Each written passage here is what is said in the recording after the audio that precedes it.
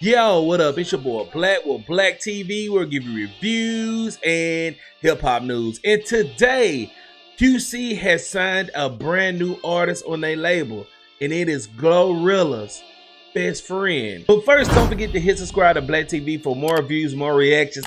Hit that like button, and in the comment section below, tell me who is your favorite female MC of all time. Is it Queen Latifah? Is it Trina?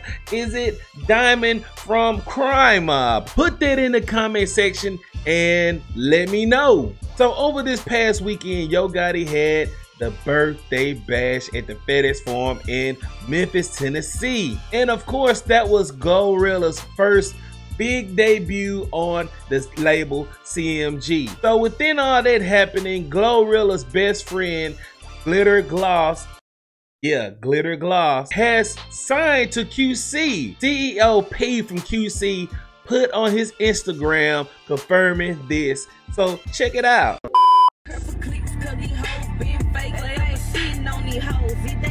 man,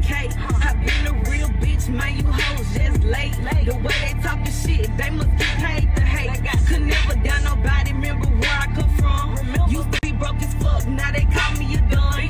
Don't play by my respect, whoop you hoes like my son.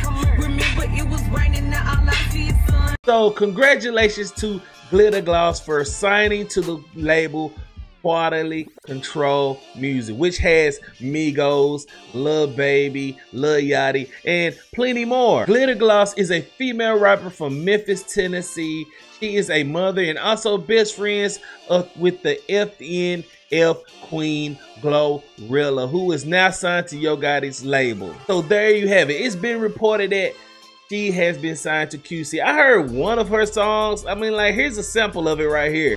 Walk in the room, that's Miss Bitch. Just can't do nothing but say no. I'm getting money, I don't know about you. But my pockets won't fold. Got your nigga, all of my clique. And your girl wanna hang with my clique. I got the money in the bag. I'ma pop my shit. But the most important question is, what do you think about the whole Glow Gang, Glorilla, and Glitter Gloss? Do you think they actually got, got what it takes to make it in this industry?